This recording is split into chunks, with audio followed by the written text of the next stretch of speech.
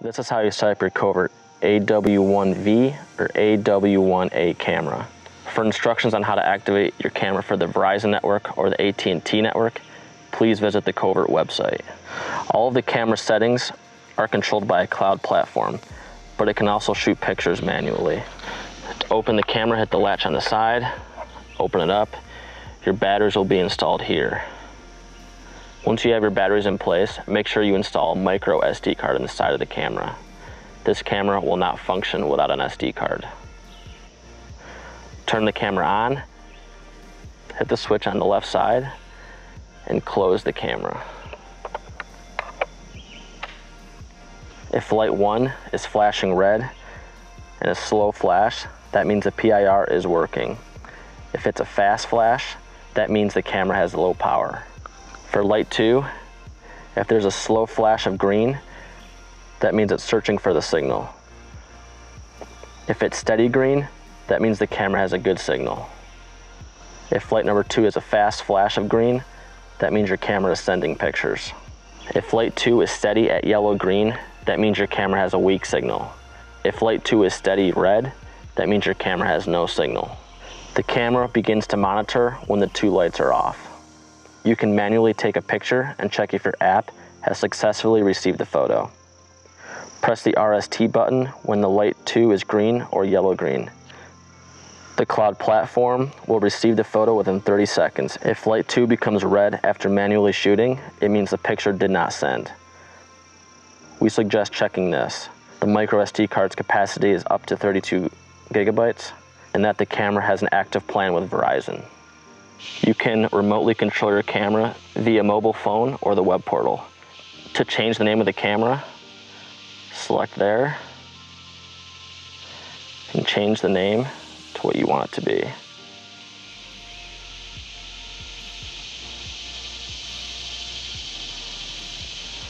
To change your description, hit the pencil tool there and type in what you want it to say. To check camera information, hit statistic, and it will show you data usage, the total number of photos you have, firmware, location, SD card space, temperature, and wind speed. Turn on or off notifications, select notifications, push on phone,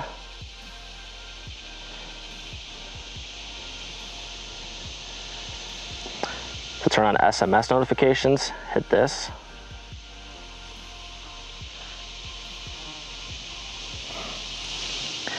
By turning on SMS notifications, every photo will be sent via text message.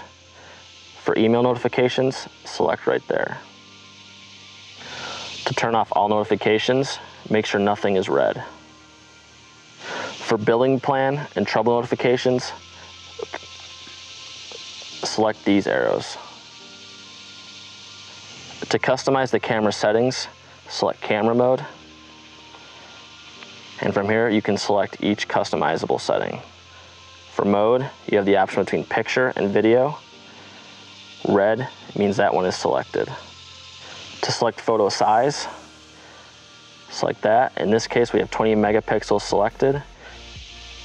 You have the option between 20, 16, 12, 8, 5, and 3 megapixels to select your photo burst, hit there, hit the drop down arrow, and you can select the number you want.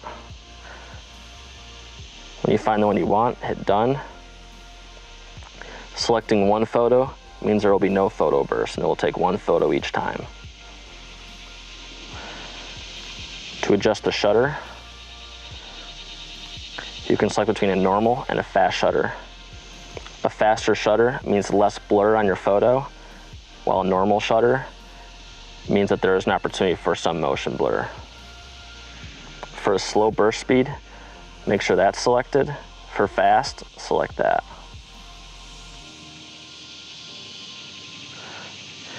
To go into trigger and time lapse, hit the arrow right there. To adjust your trigger mode, hit select. You have the options of a PIR trigger, which is heat and motion, time lapse, which takes photos at a selected interval, or the option of both. In this case, we have the PIR selected. To adjust your sensitivity, Hit that, and you have the option between no, sensitivity, low, normal, or high. We recommend normal for 10 to 80 degrees, low for low temperature, and high if it's above 80 degrees. For trigger interval, hit the drop down arrow. In this case, we have three.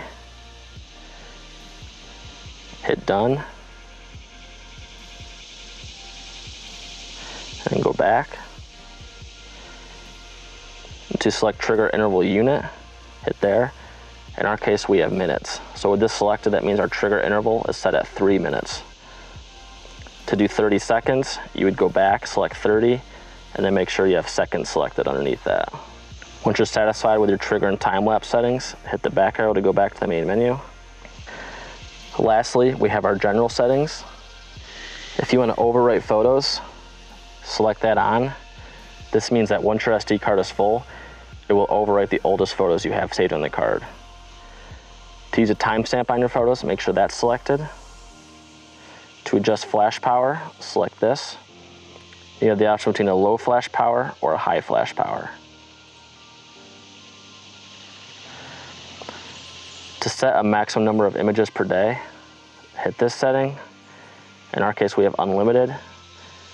To pick a number, you would scroll through the bottom until you find the number you like. If you want to adjust your remote control, you have the option between real time, a delay of a half hour,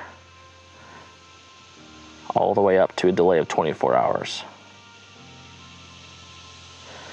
To adjust work time, select there, and you have the option of selecting four different work times for your camera. To make a work time, hit on, and you have the option of adjusting all these different days, time, and start and stop. This will allow to make sure that your camera is on for certain times. If you want your camera on at all times taking pictures, make sure all the work times are turned off. Lastly, make sure when you change all your camera settings, you hit save settings at the bottom to make sure everything is saved to the camera. Once your settings are saved, your camera is now ready to use. Please keep in mind you can use the app at any time to adjust your camera settings. Please keep in mind that all your settings can be done on the web portal or your Covert app.